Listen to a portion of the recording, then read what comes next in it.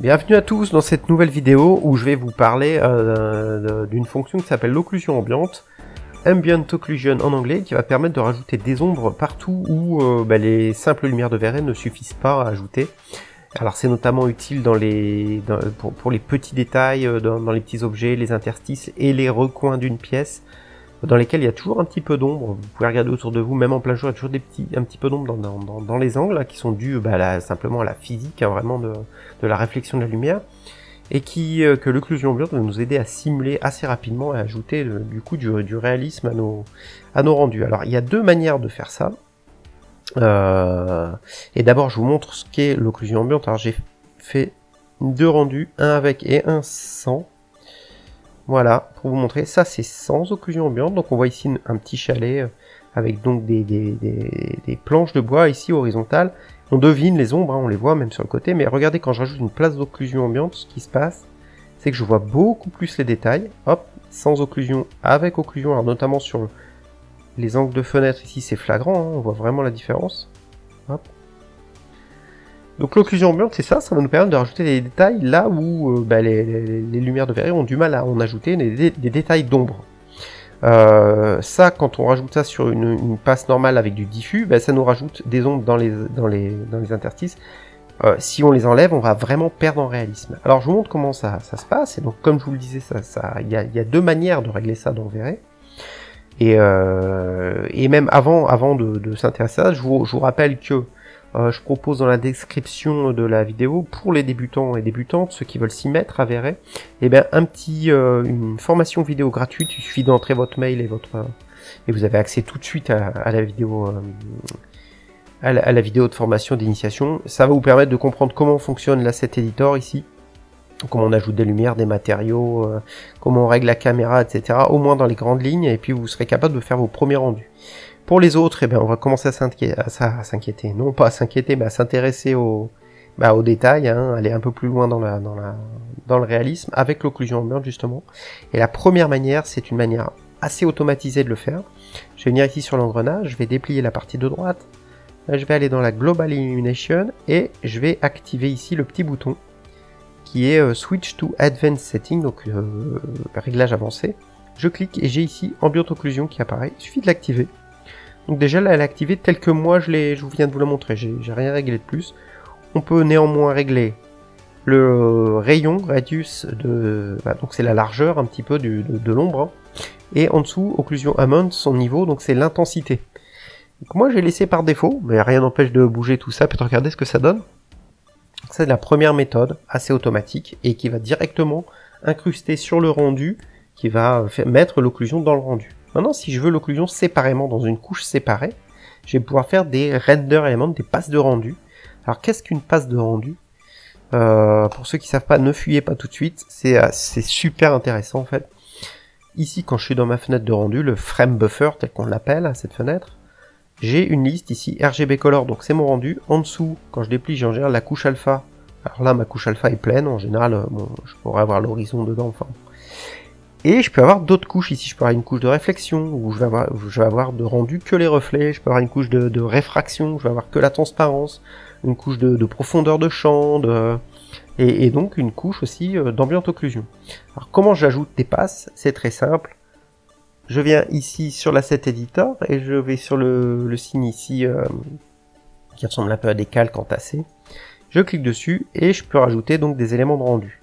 Donc nous, on va s'intéresser à extra texture ici, donc je clique sur extra texture, on voit que j'ai donc une couche d'extra texture qui se rajoute ici, et cette couche, ça nécessite d'être un petit peu paramétrée, donc je déplie, j'ai un aperçu de ce que ça peut donner, donc on voit déjà que ça ressemble à ce que je veux, puisque ça génère un petit peu des ombres dans les recoins. Mais dans texture, je vais cliquer sur l'encart qui est vide ici, et je vais ajouter une map de dirt, ici même.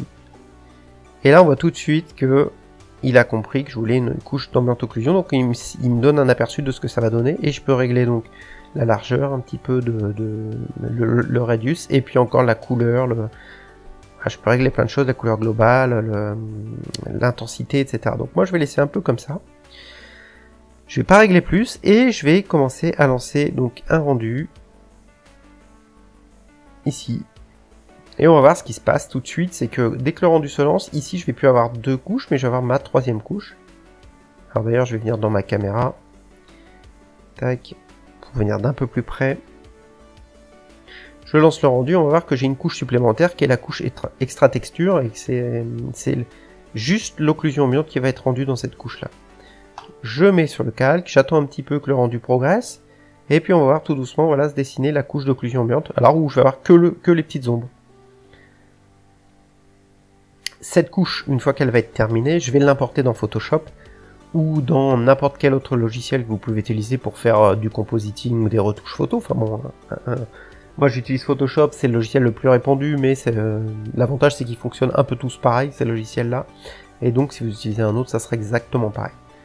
Je vais laisser euh, le rendu se terminer en accéléré, là je vous passe le, le détail, et après je vais sauvegarder toutes les couches et les importer dans Photoshop. Donc à tout de suite.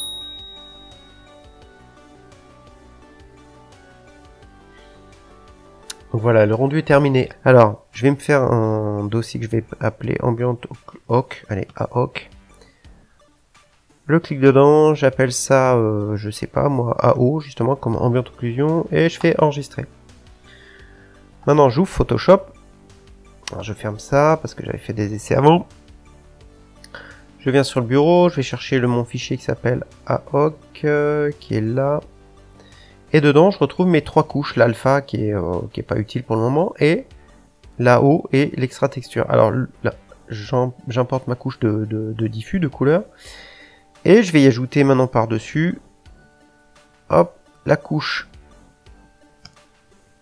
d'ombre, hein, d'ambient occlusion qui est là.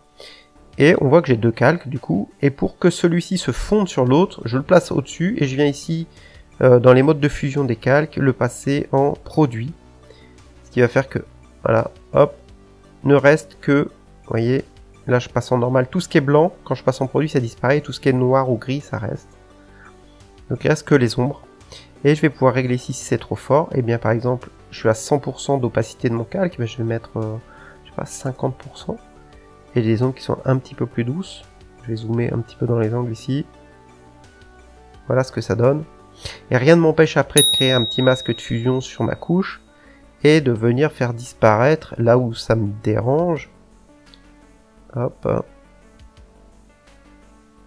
Et bien déjà ici je veux pas de occlusion et de gommer ici et là on, peut vraiment tout paramétrer et me dire que de l'ambient bah, je veux pas sur les piliers par exemple donc je viens et je vais la retirer ici voilà hop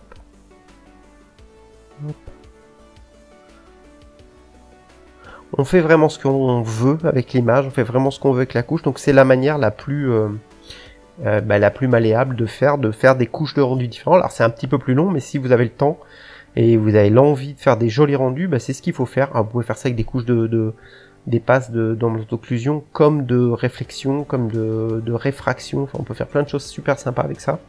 D'ailleurs, je pense faire une petite vidéo sur le compositing avec euh, avec Verre pour SketchUp, faire différentes passes et puis voir à quel point on peut obtenir des images maîtrisées à la fin. Alors dites-moi dans les commentaires ou, ou même contactez-moi en direct pour me dire si vous avez de, envie de ce genre de formation ou même si vous avez d'autres idées, hein, je, suis preneur. Euh, donc j'espère que vous avez appris quelque chose en regardant cette vidéo. Euh, je vous en prépare une ou deux autres un peu courtes comme ça, qui vont pour moi assez vite à faire et qui j'espère vous apprennent quand même deux trois trucs. Et puis je vous dis donc à très bientôt. Prenez plaisir à faire des rendus, à faire des, jolies images. Et puis on, se on se retrouve très vite. Voilà, à bientôt.